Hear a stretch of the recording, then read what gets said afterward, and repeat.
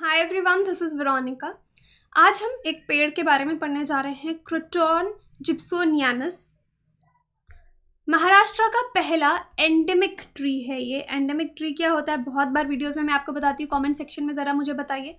और इसके बारे में क्यों पढ़ने जा रहे हैं? क्योंकि इसको रीडिस्कवर किया गया है। क्योंकि ऐसा मान लिया गया था कि शायद ये एक्सटिंक्ट हो गया है, लेकिन फाइनली फिर से बटानिस ने इसको रीडिस्कवर किया। इसके बारे में जानेंगे। अगर आपकी कोई भी क्वेरी हो, आप उनसे कनेक्ट कर सकते हैं सोशल मीडिया पे because I feel together we can make a huge difference चाहे फेसबुक इंस्टाग्राम या टेलीग्राम पे पीडीएफ जो है, वो आपको सिर्फ़ और सिर्फ़ हमारे टेलीग्राम चैनल पे ही मिलेगा। जो स्टूडेंट्स हमको देख रहे हैं और वो महाराष्ट्र स्टेट एग्ज़ाम्स की तैयारी कर रहे हैं तो स्टडी आईक्यू के पास बहुत सारे स्मार्ट कोर्सेज अवेलेबल हैं। Maharashtra PSC Maharashtra T Maharashtra SSC Maharashtra जी के जो कोर्सेज यहाँ पे स्मार्ट कोर्सेज हैं, उनमें से कुछ आपके ईएमआई पे अवेलेबल हैं। नीचे दिए हुए नंबर्स पे कॉल करके उनके बारे में डिटेल जानकारी आप ले सकते हैं। अब देखिए, ये कहानी कहाँ से शुरू होती है? पहले तो ये समझ लीजिए, एक आपके रिसर्चर्स होते हैं स्कॉलर्स होते हैं अलग अलग सब्जेक्ट्स के। यहाँ पे हम वाइल्ड लाइफ की बात करें या फ्लोरा और फाउना की बात करें, यानी प्लांट्स और एनिमल्स की, उनमें ये खासियत होती है कि वो एनिमल को पहचान लेते हैं देख के ही। फिर उनमें अलग अलग स्पेशलाइजेशंस आती हैं। कोई बटरफ्लाइज पे पढ़ रहा है कोई आ, शायद स्नेल्स पे स्टडी कर रहा हो कोई टर्टल्स पे टोटाइजेस पे काम कर रहा हो तो वो डिफरेंट टाइप के अब अगर कोई बटरफ्लाई है तो वो एक तरह की नहीं है उसकी बहुत सारी स्पीशीज़ हैं।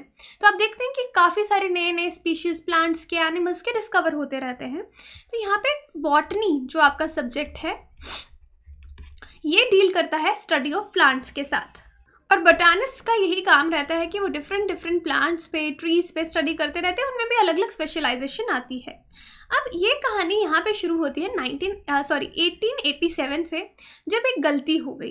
अब यूजुअली जो बटानिस्ट होते हैं, वो तो पेड़ों के पत्ते देख के ही समझ जाएँगे कि ये कौन सा पेड़ है, या जिनमें भी उनकी स्पेशलाइजेशन होगी, देख के समझ जाएँगे कि ये पेड़ कौन सा है? अब यहाँ पे मिस्टेक ये हुई कि जब ये हर्बेरियम में लेबलिंग कर रहे थे हर्बेरियम शीट्स पे लेबल कर रहे थे तो एक स्पीशीज़ है नॉर्दर्न वेस्टर्न घाट्स में, महाराष्ट्र के।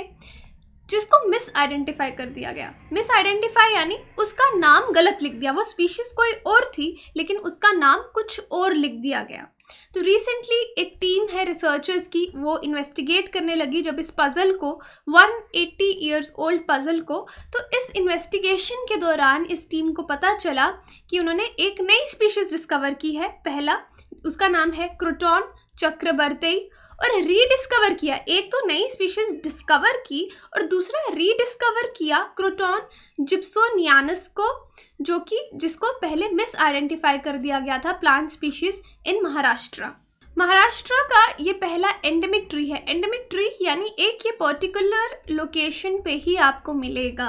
ओके okay, इस ट्री को रिडिस्कवर किया है 180 इयर्स कहाँ पे? हरीशचंद्रगढ़ हिल पे। ठीक है यानी ये इसी एरिया पे ये ट्री जो है वो पाया जाता है इसलिए इसको एंडेमिक कहा गया है। तो एंडेमिक प्लांट का डेफिनेशन अगर आपसे कोई पूछे तो क्या है? Endemic plants are special because they are found only in one location on the planet and no else तभी वो एंडेमिक है क्योंकि अर्थ पे वो एक ही लोकेशन पे मिलते हैं कहीं और आपको नहीं मिलेंगे।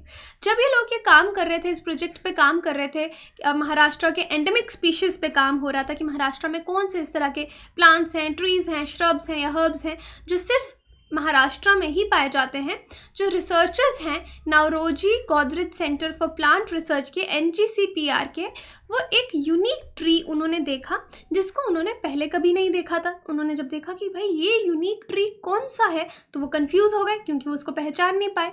फिर आठ किलोमीटर का track from Khireshwar to Harishchandragad hill in north western Ghats. तो उसके बाद वो आठ किलोमीटर ट्रैक करके वहाँ गए थे। उनको एक स्मॉल पॉपुलेशन मिली फिफ्टीन फीट हाई ट्री की। फिफ्टीन फीट था इसका लेंथ इस ट्री का with bifarious leaves bifarious leaves क्या कि सेंट्रल एक्सिस से उसके इस तरह से पत्ते जिसमें लगे रहते हैं सेंट्रल एक्सिस से आप देखोगे, तभी इसको बाइफेरियस कहा गया है। मतलब लीव्स ऑपोजिट साइड पे ग्रो करते हैं ब्रांच से दो वर्टिकल रोज में। अब ये कहाँ मिला इनको? ये ट्री को इन्होंने लोकेट किया एक, आप कह सकते हैं, छोटी सी नदी बह रही है स्ट्रीम पेरिनियल यानी पूरे साल उसमें पानी रहता है। आगे पीछे उसके रॉक बाउल्डर्स थे थिक कैनोपी थी सेमी एवरग्रीन फॉरेस्ट की, यानी थोड़े घने घने जंगल, घने घने पेड़ वहाँ लगे थे। वहाँ पे, यहाँ पे मैप पे जहाँ पे आप देख सकते हो, वहाँ पे उन्होंने इस पेड़ को पाया। इनिशियली रिसर्चर्स ने क्या सोचा कि ये ट्री कौन सा है? ये है क्रोटॉन लॉनियस यहीं पे मिस आइडेंटिफिकेशन पहले भी हुआ था तो तभी इनको लगा कि ओके ये क्रोटॉन लॉइनियस होगा। ये वो स्पीशीज़ है जो ब्रिटिश के एक बोटानिस्ट थे जी जे डी हुकर उन्होंने 1887 में इसका नाम रखा था, इसको डिस्कवर किया था। लेकिन जब आगे इस स्टडी को और भी ज़्यादा वो रिसर्च करने लगे, पढ़ने लगे इस पेड़ को, तब ये रिवील हुआ कि ये स्पीशीज़ सी, क्रोटोन एल ना होके क्रोटोन जी है, जिप्सोनियानस, ओके? और इसको किसने डिस्क्राइब किया था? एक ब्रिटिश बोटानिस्ट थे, जोसेफ निमो 1839 में। उन्होंने फ़ील्ड सैम्पल्स इसके कलेक्ट किए थे एलेक्जेंडर जिप्सन के साथ। The first forest conservator of Bombay Presidency Alexander Gibson जिनके नाम पे इसका स्पीशीज़ का नाम रखा गया है, जिसको डिस्कवर किया गया, वो कौन थे? पहले फॉरेस्ट कंजर्वेटर थे बॉम्बे प्रेसिडेंसी के। तो इसका बैकग्राउंड यही है कि जोसेफ निमो ने डिस्क्राइब किया था दो स्पीशीज़ को 1839 में। एक है आपका क्रोटॉन जी और एक है आपका क्रोटॉन एल अब मैं इनके पूरे पूरे नाम नहीं ले रही you can see them here और जो क्रोटॉन जी है, इसको हरीश चंद्रगढ़ से देखा था देखा गया था और क्रोटॉन एल को from Bhimashankar in western Ghats यहाँ पे इन्होंने दो स्पीशीज़ को डिफाइन किया था, दोनों अलग अलग हैं। अब 1887 में क्या हुआ? जेडी हुकर अपेरेंटली मिस्टेक किसने की थी यहाँ पे? जेडी हुकर के द्वारा मिस्टेक हुई थी। अब यहाँ पे जोसेफ निमो ने दोनों को अलग से डिस्क्राइब किया था। अब जेडी हुकर ने एपरेंटली यहाँ पे लेबलिंग में हर्बेरियम शीट्स में जब लेबलिंग नाम लिख रहे थे ट्रीज़ के तो यहाँ पे मिस्टेक कर दी, जिससे उन्होंने मिस लेबल कर दिया जो क्रोटोन एल था। उसका नाम गलती से उन्होंने क्रोटोन जी रख दिया। यहाँ पे मैं रीड आउट कर लेती हूँ आपके लिए which led to Croton gibsonianus being mislabelled as Croton as Croton lawianus and entirely different shrub being labelled as Croton जी तो आप देख लीजिए, यहाँ पे मिस लेबलिंग की वजह से इतना सारा कन्फ्यूज़न हो गया। अब जब ये इन्वेस्टिगेशन की है तो इनको पता चला। और उसके साथ साथ एक नई स्पीशीज़ इन्होंने ढूंढी क्रोटॉन चक्रवर्ती इसका नाम इन्होंने किसके नाम पे रखा है? तपस चक्रवर्ती हैं। एक्स साइंटिस्ट हैं बोटानिकल सर्वे ऑफ़ इंडिया के। उन्होंने इंडियन टेक्सोनमी में इंडियन क्रोटॉन टेक्सोनमी में बहुत सारा कॉन्ट्रीब्यूट किया है। तो उनको ऑनर करने के लिए इस स्पीशीज़ का नाम उस पर रखा गया है। अब ये क्रोटॉन चक्रवर्ती जो कि न्यू स्पीशीज़ है और क्रोटॉन जिप्सोनियानस जो रीडिस्कवर्ड स्पीशीज़ है, इनमें क्या फ़र्क है? अब क्रोटॉन चक्रवर्ती चक्रवर्ती जो है, ये कर्नाटका और केरला में पाया जाता है, लेकिन क्रोटॉन जिप्सोनियानस सिर्फ़ और सिर्फ़ महाराष्ट्र में पाया जाता है। अब पॉपुलेशन आप क्रोटॉन जिप्सोनियानस की देखेंगे तो अराउंड फिफ्टी ट्रीज़ इसके आपको हरीश चंद्रगढ़ हिल में महाराष्ट्र में मिलेंगे, जिसका मतलब है, सिर्फ़ फिफ्टी ट्रीज़ हैं तो मतलब क्रिटिकली एंडेंजर्ड है आई के हिसाब से। जब इसको एक्सेस किया गया तो यही पता चला कि ये क्रिटिकली एंडेंजर्ड है स्पीशीज़ और इसके बाद रिसर्चर्स ने यहाँ पे क्रोटॉन एल को भी ढूँढने की कोशिश की वेस्टर्न घाट्स में कर्नाटका में, लेकिन उनको but they could not find any tree resembling to Nimmo's description तो नीमो ने जिस तरह का डिस्क्रिप्शन दिया था उनको क्रोटॉन एल वहाँ पे नहीं मिला।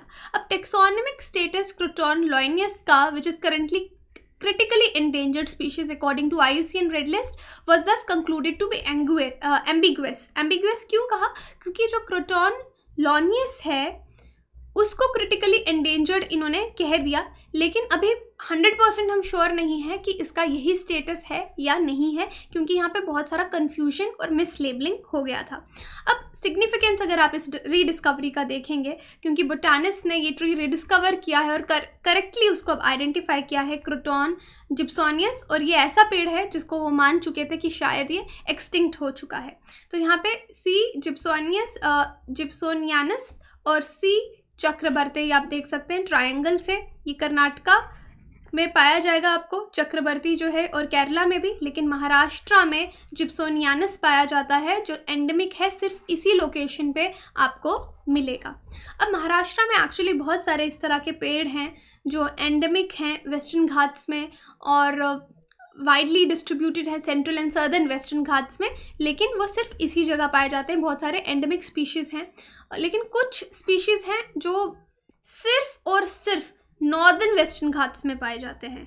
और इस तरह के स्पीशीज़ एक्सेप्शनल भी हैं, क्योंकि ये नैरो एंडेमिक स्पीशीज़ हैं और ये कहीं भी और नहीं पाए जाते सेंट्रल और सर्दर्न वेस्टर्न घाट्स में भी नहीं पाए जाते, सिर्फ़ नॉर्दर्न वेस्टर्न घाट्स में पाए जाते हैं। तो NGPCR रिसर्चर्स ने एक और इंडिविजुअल स्पीशीज़ एक जगह तो उनको 50 ट्रीज एक साथ लगे हुए मिले। लेकिन उसके बाद उन्होंने देखा अराउंड 50 मीटर की दूरी पे एक फ़र्स्ट ग्रुप उनको एक पेड़ क्रोटॉन का और मिला वहाँ पे, जो अलग से ग्रो कर रहा था। First group of trees around hundred years old जो पहला ग्रुप उनको मिला ये जिप्सोन यानस की मैं बात कर रही हूँ, वो अराउंड सौ साल पुराने हैं। जब उसकी ग्रोथ हैबिटेट गर्थ देखी गई तो पता चला कि अराउंड सौ साल वो पुराना है, काफ़ी पुराना है। लेकिन पेरिनियल, यहाँ पे उन्होंने देखा कि कहाँ ग्रो करता है ये। एक तो पेरिनियल स्ट्रीम्स जिस नदी में पूरे साल पानी रहे, उसके आसपास ग्रो करता है। फ़र्स्ट ग्रुप ऑफ़ ट्रीज मैंने आपको बता दिया, काफ़ी पुराने हैं। अब जो ये क्रोटॉन जिप्सोनियानस और क्रोटॉन चक्रवर्ती है मॉर्फोलॉजिकली यानी देखने में भी एक दूसरे से बहुत ही ज़्यादा अलग हैं। जो जिप्सोनियानस है, ये एक छोटा पेड़ है, लेकिन चक्रवर्ती जो है, ये एक श्रब है। अब endangered status and need for conservation अब इसकी कंजर्वेशन की ज़रूरत क्यों है? क्योंकि ऑब्वियसली इसकी पॉपुलेशन अब बहुत कम रह गई है। अगर हम इसको किसी बोटानिकल गार्डन में ग्रो करने की कोशिश करेंगे तो शायद ना ग्रो कर पाए, क्योंकि जिस तरह की कंडीशन इसको चाहिए, वो नॉर्दर्न वेस्टर्न घाट्स में ही मिलेंगी। क्रोटॉन लॉनियस ये जो स्पीशीज़ है रिसर्चर्स ने इसको पहले क्रोटॉन चिप्सोनियानिस समझा था। यानी लॉनियस जिसको हम पहले कह रहे थे, अब हमको पता चला है कि वो दूसरा पेड़ है। इसको एसेस किया गया था क्रिटिकली एंडेंजर्ड तो अगर आप आईयूसीएन की लिस्ट देखेंगे तो वहाँ पे क्रोटॉन एल को एंडेंजर कहा गया। लेकिन क्रोटॉन एल जिसको एंडेंजर्ड कहा गया ये तो एंडेंजर्ड है ही नहीं। इसके बारे में अभी हमको ज़्यादा पता नहीं है बल्कि ये जिप्सोनियानस है जो कि एंडेंजर्ड है। राइट right, तो यहाँ पे अभी कन्फ्यूज़न है ये भी क्लियर करना पड़ेगा ये लोग लेटर लिखेंगे कि नहीं हमसे मिसलेबलिंग हुई थी इसको ठीक किया जाए। लेकिन अभी फिर भी जो क्रोटॉन जिप्सोनियानिस है, जहाँ पे इसकी ग्रोथ हो रही है, वो एरिया ऑलरेडी प्रोटेक्टेड है। बट स्टिल बोटानिस्ट फील की अलग से भी कंजर्वेशन एफर्ट्स की ज़रूरत है, अगर हम इस स्पीशीज़ को एक्सटिंक्ट होने से बचाना चाहते हैं। और अगर इसको हमें कंजर्व करना है तो इसके लिए अलग से प्रोटेक्शन जो है, वो चाहिए होगा। क्योंकि ये स्पीशीज़ हैबिटेट स्पेसिफिक है, एक पर्टिकुलर जगह पे ही ग्रो करता है। और अब यहाँ पे सारे जो नॉमन और डिस्क्रिप्शंस हैं, उनका करेक्शन भी किया जाएगा। हर्बेरियम में जब इसको प्रिजर्व किया जाएगा तो अब इसकी ड्राइंग के साथ, इसकी टाइप के साथ स्टैंडर्ड पॉइंट ऑफ़ रेफरेंस लेके बोटानिकल नॉमन का, इसको ठीक से अब हर्बेरियम में प्रिजर्व किया जाएगा, क्योंकि पहले तो इसका पूरा मिस आइडेंटिफिकेशन हो गया था। तो यहाँ पे आप देख सकते हैं कि बहुत बार चाहे वो ट्रीज़ की स्पीशीज़ हो, पीछे एक बर्ड भी था ब्लाबर ब्राउन ब्लाबर उसको भी रिडिस्कवर किया गया था। तो जो एंथुशियास है वाइल्ड लाइफ एंथुशियास चाहे वो प्लांट्स को लेके हों, चाहे वो एनिमल्स को लेके हों, वो इस तरह की रीडिस्कवरीज करते रहते हैं। And this is very good अगर क्योंकि इंडिया में इतनी बायोडाइवर्सिटी है, हम इसको कंजर्व करके रखेंगे तो हमारे लिए बहुत अच्छा रहेगा। अब यहाँ पे आप एक क्वेश्चन देख सकते हैं। The red data books published by the International Union of Conservation of Nature and Natural Resources contain list of endemic plant and animals present in the biodiversity hotspot. Number two, threatened plant and animal species. Third protected sites for conservation for nature and natural resources in various countries तो आप मुझे comment section में बता सकते हैं वरना Telegram पे पोल होगा वहाँ पे आप इसको ज़रूर अटैम्प्ट कीजिए बाकी आप हमारी वेबसाइट विज़िट कर सकते हैं एप्लीकेशन डाउनलोड कर सकते हैं कोर्सेज की जानकारी के लिए थैंक यू सो मच